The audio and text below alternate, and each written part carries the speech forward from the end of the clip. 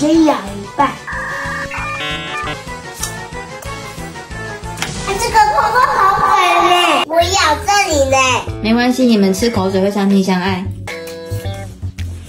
这样子我们再剥一半就不是可以了。那好，你剥一半给姐姐。你那个已经泡过口水了。我没有泡过口水。要不要我来吃？不要。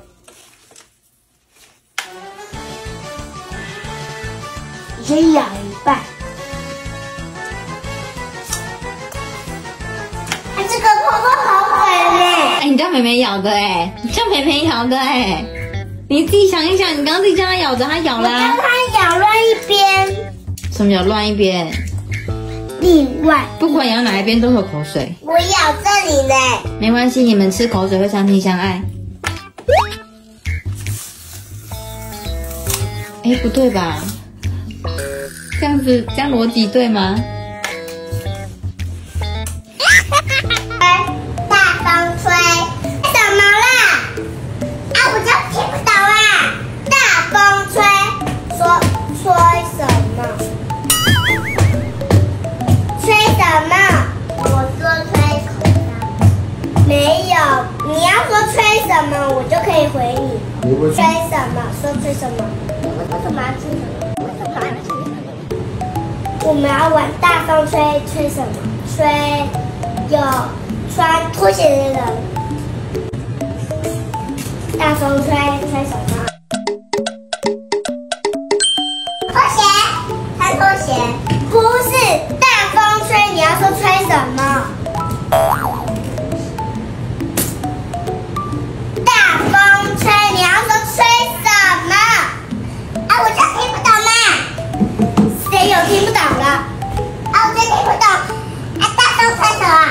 去啦！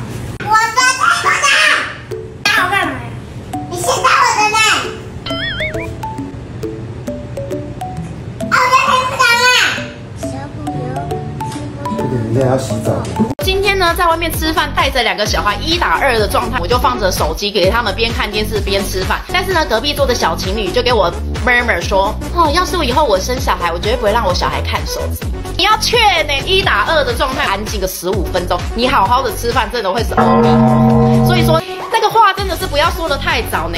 我今天呢，在外面吃饭，带着两个小孩一打二的状态去餐厅，结果呢，他们在用餐的过程，我就放着手机给他们边看电视边吃饭，我自己呢也可以划自己的手机，好好吃饭。一打二的状态，我觉得非常舒服。但是呢，隔壁桌的小情侣就给我 murmur 说，哦，要是我以后我生小孩，我绝对不会让我小孩看手机。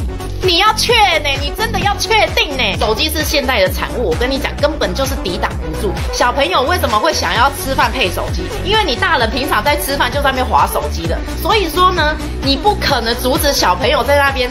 啊、为什么爸爸妈妈他们都可以边吃饭边看手机？除非你自己也做不到，不然的话很难。尤其现在小孩普遍过动儿的状态，有时候真的手机拿出来，他们真的会安静个十五分钟。你好好的吃饭，真的会是阿弥陀佛。所以说教育难不难？真的很难。但是呢，适时的控制还有正确的引导，这才是我们父母要做的。还有，不要再说我们父母拿手机给小孩子看了。有时候在外面一打二，或者是小孩他真的特别闹的时候，手机拿出来真的可以换一点安静啊。专家说，我们平常呢对小孩的照顾呢，尽可能用沟通的，不要用吼叫的，不然的话会造成他们心理上的阴影。所以现在九点半十点间呢，我要请他们下床睡觉，就是温柔的跟他们讲就可以了。好了，妹妹们，明天要上学了，赶快睡觉喽！妹妹们，明天要上学喽，赶快睡觉喽！一、二，就我也想温柔啦，啊，那就一二三，个劲呐！真的是饶了我。国家建议多生孩子，不断的打出生育补助方案。医院建议哺乳喂养，专家建议孩子要自己带，有助于孩子身心发展。但我真的建议你闭嘴。一边奶粉呢轰轰上涨，凡是带有儿童母婴两个字的产品瞬间高级。一个普通的牙膏一百块有找，但是打上儿童母婴两个字，就直接两百元飙涨。